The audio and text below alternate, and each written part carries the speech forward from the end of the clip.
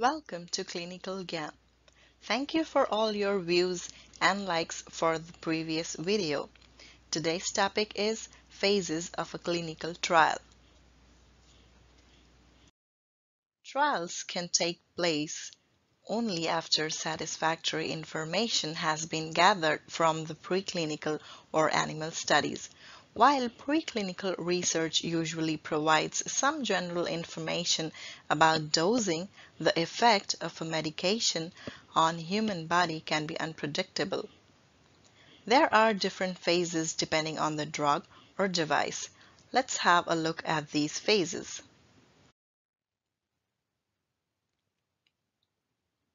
Drug developers or sponsors must submit an IND or investigational new drug application to health authorities such as FDA or EMA before beginning clinical research.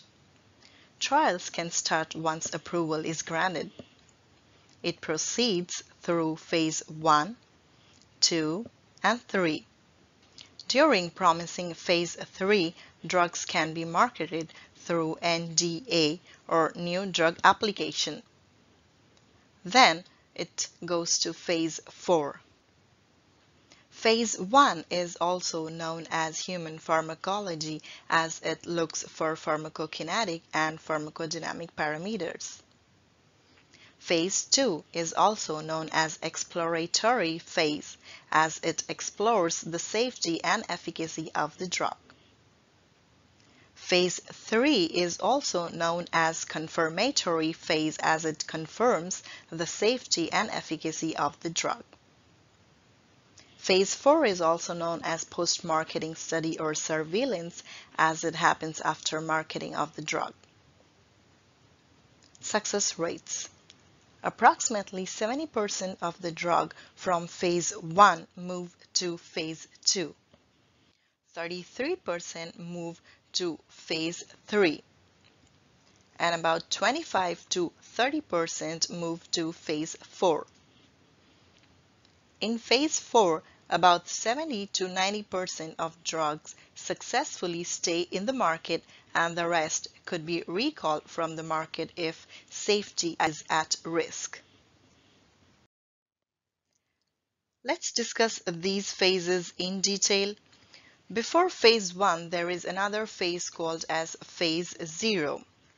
This phase 0 is considerably a new idea from US Food Drug Administration or FDA, though it is not mandatory to be conducted. This is also known as human microdose studies as they have single subtherapeutic doses given to 10 to 15 subjects subtherapeutic dose is a dose which is too low to cause any therapeutic effect. Pharmaceutical companies perform these studies to decide which of their drug candidate has the best pharmacokinetic parameter in humans. It is also done for compounds which are, or its derivatives which were never exposed to humans. If medication acts differently than expected, the investigator will likely to do some additional preclinical research before deciding whether to continue with the trial. Phase 1 This phase aims to figure out the highest dose human can take without serious side effects. In addition to evaluating safety and ideal dosage, researchers also look for the best way or to administer the drug such as orally, intravenously, or topically. The study participants are around 20 to 100 healthy volunteers or sometimes people with a disease or condition. These trials are usually conducted in volunteers who are disease-free. However, if the drug is expected to be very toxic and is intended for serious indications such as cancer, it may not be ethical to introduce the compound into healthy volunteers. Therefore, in such cases, patients with disease or conditions are preferred. Length of the study is up to several months.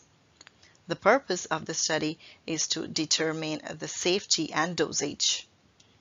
This includes safety studies or pharmacovigilance, safe dose range, the dose which is usually a fraction of the dose that causes harm in animal testing, and identifying side effects, tolerability, pharmacokinetics, pharmacodynamics, and route of administration. Let's see what is pharmacokinetic. It is described as what the body does to the drug. Refers to the movement of a drug into, through, and out of the body. This involves ADME, which is absorption, distribution, metabolism, and excretion. Pharmacodynamics.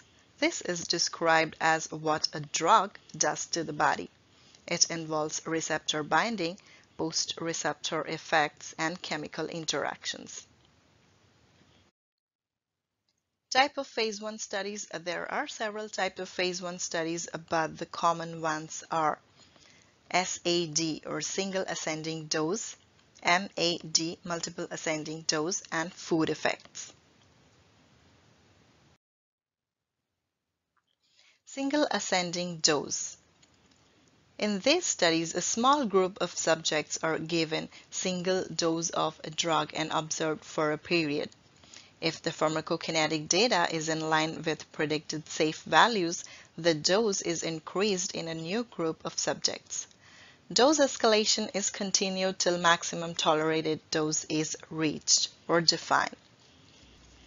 As you can see here, each subject cohort receives a single dose for example, if cohort 1 receives 5 milligrams of the drug and upon no significant result, the dose is increased for the next cohort to 10 milligrams and the dose increment is continued in other cohorts till maximum tolerated dose is reached.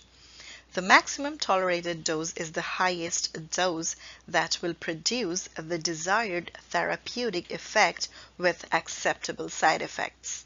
Multiple ascending dose or MAD. In this, a group of subjects receive multiple low doses of the drug. Samples of blood and other body fluids are collected at various time points and analyzed.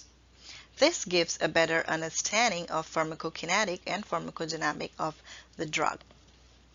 As you can see here, the subject cohorts receive multiple doses at different time points.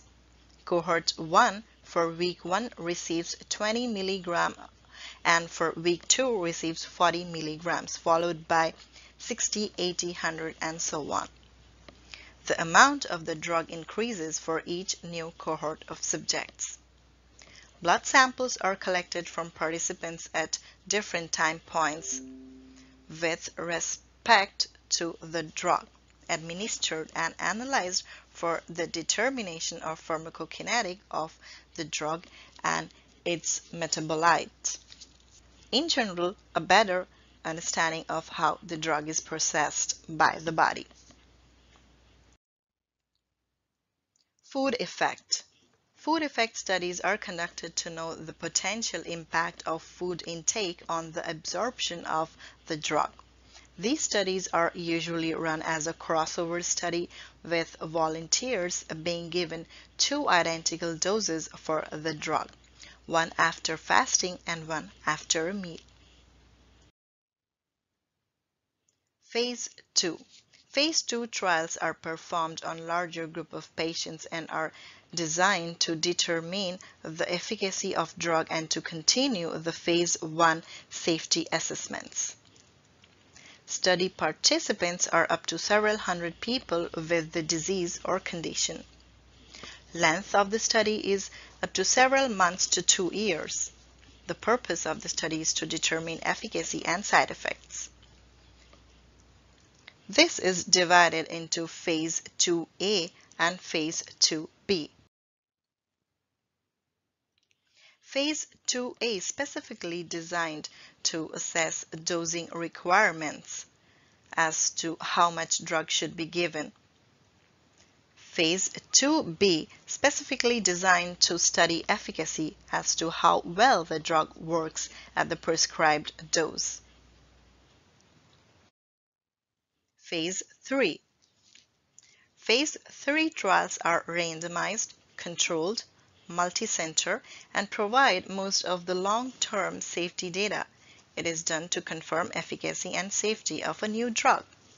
Study participants are 300 to 3,000 volunteers who have the disease or the condition. Length of the study is 1 to 4 years. The purpose is to determine efficacy and monitoring of adverse reactions.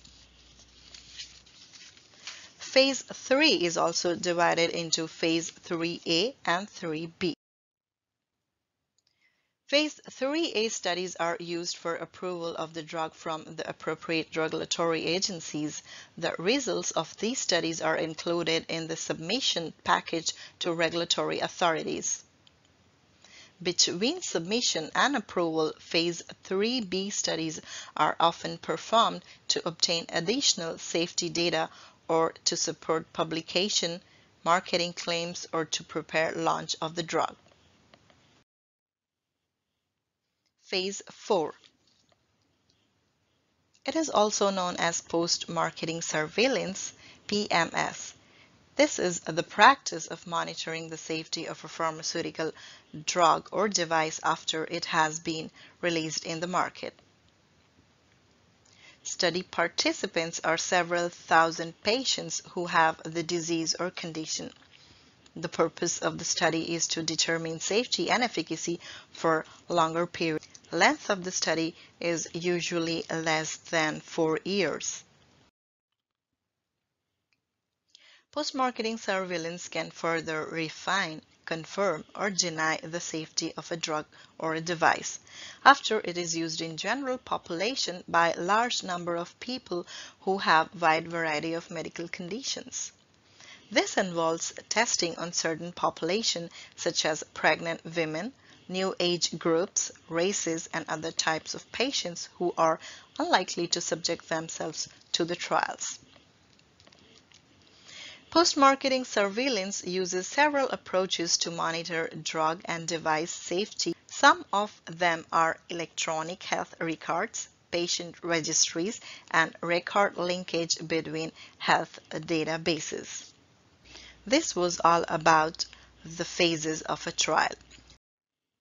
Thank you for watching this video. If you like this video, hit the like button and don't forget to subscribe if you haven't subscribed earlier. Bye bye and take care.